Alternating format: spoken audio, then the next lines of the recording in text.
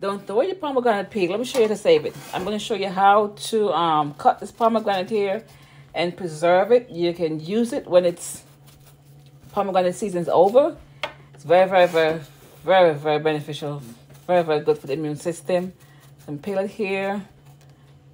And I'm going to dry it out and show you how to grind up together. And you can use this for your face, your skin. Pomegranate is very good for the skin. Pomegranate peel is very, very good for the skin. So you don't want to throw your peel. You can make tea, the immune system, like I said. So don't throw it away. Every single part of the pomegranate is edible. So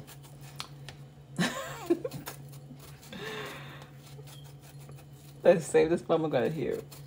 Let's save it and peel it. Let's use a peel. And it's all finished very quickly.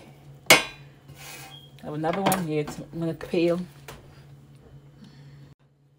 This is two pomegranate peel and I'm going to put them, what I do next, I put them on like on a cookie sheet, put them on, in the oven like on the lowest setting, the lowest setting, mine is like on 170, or you could turn the oven light on, let it stay overnight, dry it out, and then I'm going to grind it up.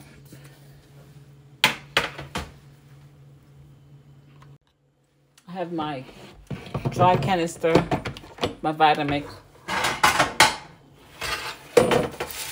I even dry like the white part of the pomegranate. Everything you could dry, everything, and just put it in your blender. Ooh, nice and crispy. Hear that? Crunch.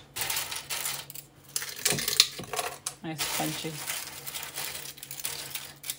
So you can it into a powder. Blend. finished grinding this up, so I'm going to put it in here. So pretty. Look at the color. This one, saving those skin. Look at that. Look at that. You know they sell this at the store. You can make it yourself. You can make this yourself what you can do next. Get a tea bag and put some in here, make your tea, make yourself some tea. It's a table teaspoon in your cup.